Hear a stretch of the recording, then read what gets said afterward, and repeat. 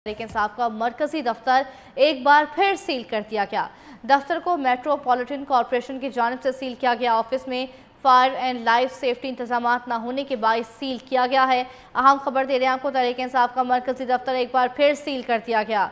दफ्तर को metropolitan corporation की जानब से सील किया गया। ऑफ़िस में फायर एंड लाइफ सेफ्टी इंतज़ाम ना होने के बाईस सील किया गया है। बताते चले आपको कि दफ्तर को मेट्रोपॉलिटन कॉरपोरेशन की जानब से सील किया गया है। तहरीक इंसाफ का मरकजी दफ्तर एक बार फिर सील कर दिया गया। पीटीआई के मरकजी सेक्रेटेरिएट पर छापा और गिरफ्तारियों का केस हाईकोर्ट पहुँच गया। पीटीआई विमेन विंग की रहनुमा मेमुना कमाल की दरख्वास्त पर डीआईजी ऑपरेशन को चार बजे हाईकोर्ट तलब कर लिया। चीफ जस्टिस आमिर फारूक ने केस की समात की। पुलिस और एफआईए ने गुजशत रोज़ मरकज़ी ऑफ़िस पर छापा मारा था। आपको अहम खबर से आगाह करते चलें कि पीटीआई के मरकज़ी सेक्रेटेरिएट पर छापा और गिरफ्तारियों का केस हाई कोर्ट पहुँच गया है। पीटीआई विमेन विंग की रहनुमा महमूना कमाल की दरख्वास्त पर डीआईजी ऑपरेशंस को चार बजे हाई कोर्ट तलब कर लिया गया।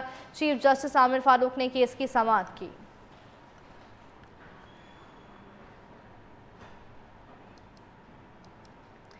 पीटीआई ने पंजाब असम्बली की 35 और कौमी असम्बली की 14 मखसूस नशस्तों के लिए नामों की फहरिस्त तैयार कर ली है।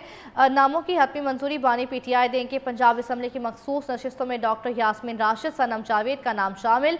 कौमी असम्बली के लिए कंवल छोसब, सबक रुकन कौमी असम्बली आलिया हमजा का नाम भी फहरिस्त में शामिल है। आपको बताएँ कि आई ने पंजाब असम्बली की पैंतीस और कौमी असम्बली की चौदह मखसूस नशस्तों के लिए नामों की फहरिस्त तैयार कर ली है।